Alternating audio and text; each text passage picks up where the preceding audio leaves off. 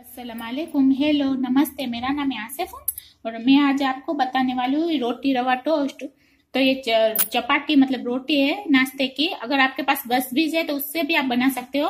तो अभी बची हुई चपाटी के कैसे यूज़ करते हो, वो आज तो रेसिपी बताती हूँ। पर और भी रेसिपी चाहिए तो मुझे बोलना मैं वो बनाती रहती हूँ। कुछ भी दिमाग में आता है वो।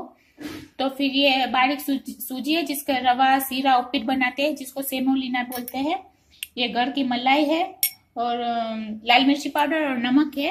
तो अभी जस्ट उसको भिगने के लिए रखती हूँ। ये सूजी, इसमें ये मलाई। टेस्टी भी है और हेल्दी भी है, ये आप रेसिपी ज़रूर ट्राई करना। और लाल मिर्ची पाउडर और नमक।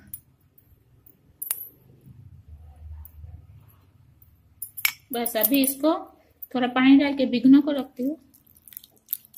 और अभी ज़्यादा पानी नहीं डालती क्योंकि अभी इसमें सब वेजिटेबल भी ऐड करने वाली हूँ। तो अभी थोड़ा जस्ट उसको भिगने के लिए रखती हूँ। और आप, अगर नॉनवेज खाते हो तो आप इसमें उबले हुए चिकन के पीस भी डाल सकते हो। और मैं वेज हूँ, इसके लिए वो चिकन अवॉइड करूँगी। तो फिर अभी थोड़ा ये भिग जाता है तो इसमें कटे हुए सब वेजिटेबल ऐड करती हूँ और कैसे बनाने का है, वो मैं आपको बताऊँगी। तो अभी और जरा पानी डालती हूँ। और जरा मलाई तो आप डालना तो बस अभी इसको सूजी को थोड़ा आराम करने देती हूँ, ताकि वो फूल जाए अच्छे से और सेट हो जाए। बाद में कैसे बनाने का है, वो बताती हूँ। देख सकते हो, सब मैंने वेजिटेबल काट लिए है। ये प्याज है, गाजर है कैप्सिकम यानी शिमला मिर्च है, टमाटर है और कोथमीर है। आप कुछ भी और वेजिटेबल भी ऐड कर सकते हो, पनीर भी डाल सकते हो। तो ये अभी हुआ। अभी इसमें सब ये वेजिटेबल ऐड करती हूँ। बहुत हेल्दी है टेस्टी भी बनेगा। अगर आपके बच्चे या आपके भाई बहन जो चपाती नहीं खाते हो या फिर वेजिटेबल नहीं खाते हो तो उसके लिए ये अच्छा ऑप्शन है। और मैंने पानी पहले क्यों कम ऐड किया था कि टमाटर और प्याज का थोड़ा पानी ये निकलता है, फिर बहुत ये पतला ना हो जाए, क्योंकि हमको इसको रोटी के ऊपर चिपकाने का है और फिर इसको तवे पर सेलो फ्राई करने का है। तो ये एक हेल्दी भी ऑप्शन है और शरीर के लिए और बॉडी के लिए भी अच्छा है। और पेट भी भरता है। तो नाश्ते में आप इंशाल्लाह ज़रूर ट्राई करना और मुझे यहाँ से कमेंट में भी बताना। इसको अच्छे से जरा पाँच मिनट मिक्स करती हूँ, देख सकते हो। अच्छे से मिक्स कर लिया है मैंने। अभी इसको इधर मैंने क्या किया है? ये दो चपाती को ऐसे टुकड़े किए है मतलब फोर पीस किए इसके चार पीस किए हैं। पिज्जा के जैसा आपको लगता होगा। बस अभी इसको इधर मैंने क्या किया नॉन स्टिक का तवा भी गर्म करने को रख दिया है। नॉर्मल जो तवा है, उस पर भी कर सकते हो। फिर उसमें क्या होता है ऑयल ज़्यादा चाहिए। तो इस पे मैंने नॉन स्टिक के इस पे करने वाली हूँ। इसको ऐसे चिपकाने का है। इसके लिए मैंने आपको बोला था कि ज़्यादा पानी मत डालना, क्योंकि फिर बहुत पानी डालोगे तो फिर बनाने के वक्त ये सब मसाला, ये वेजिटेबल निकल सकते हैं। और इधर अच्छे से गरम रोल कर लिया है मैंने इसको। और जरा ऑयल डालती हूँ।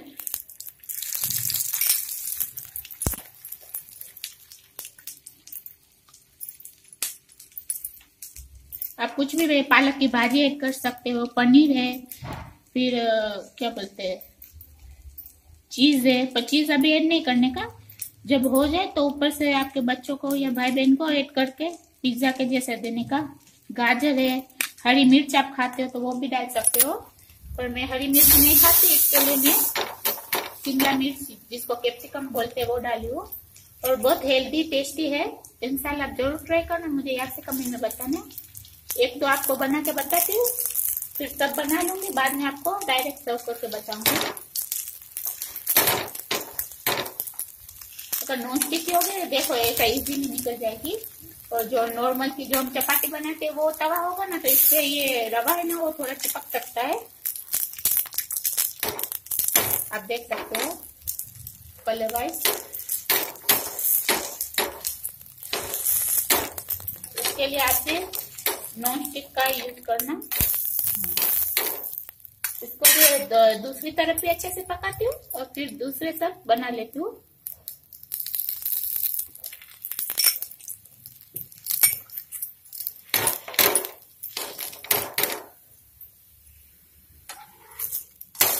तो थोड़ा डार्क कलर करती हूँ अच्छे से देख सकते कड़क हुए हैं बस अभी इसको प्लेट में निकालती हूँ। और दूसरे सब डालती हूँ और फिर आपको सर्व करके बताती हूँ। दूसरे भी मैंने रेहिज करके रखे